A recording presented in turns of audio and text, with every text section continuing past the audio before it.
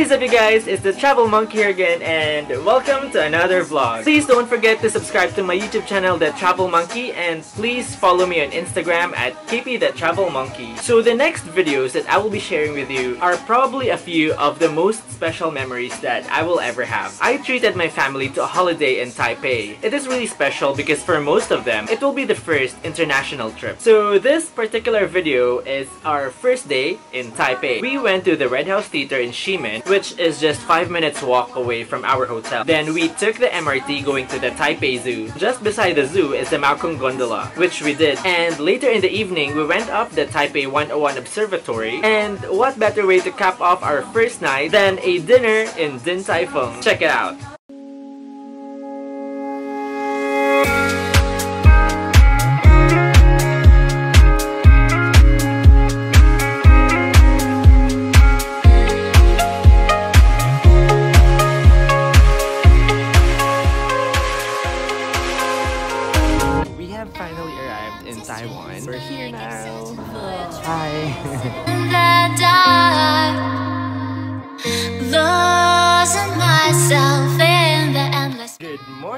So it's um, 8 o'clock in the morning now and just a little recap. We arrived in the hotel at around half past 3 last night. We only had about 4 hours of sleep or maybe less. So it's our first day officially here in Taiwan and we're gonna see what happens. I already changed my money in the airport. I, I saw a YouTube video before and he said that it's better to do it in the airport. I'm not sure if it's really true, but I did anyway. After almost two hours of delay in the Manila airport, we are finally here. See ya!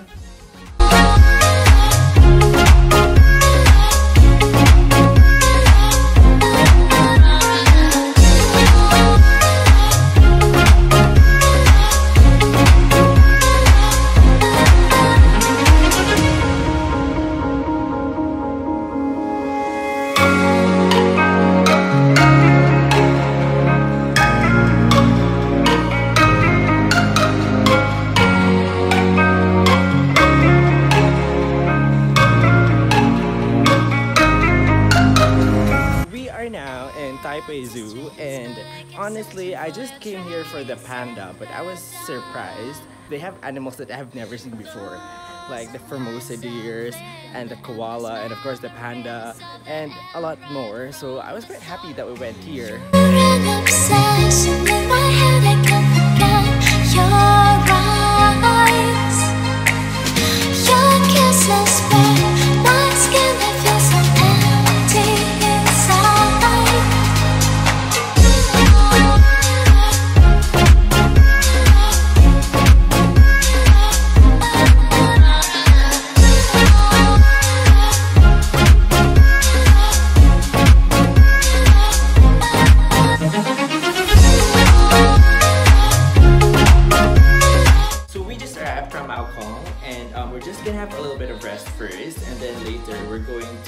Taipei 101 Observatory. Bought a priority pass ticket, but um, I'm gonna make a separate video for that to discuss our experience with the priority pass, see if it's worth it or not. And if we get lucky, maybe we can have dinner in Din Tai Fung in Taipei 101. So we're gonna have to catch the Red Bus Night tour from Ximen to Taipei 101 because the ticket that I bought for the Maokong Gondola includes a free ride in the Red Bus Night tour. So we're gonna take that going to Taipei 101.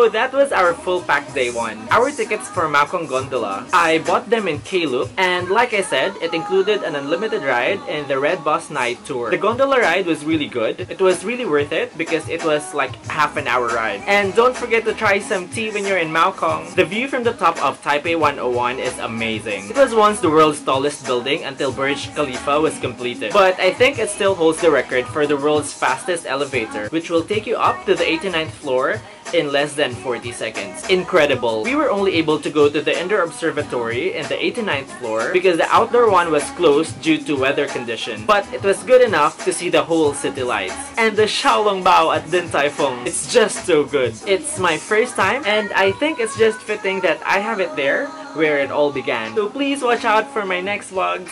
Bye!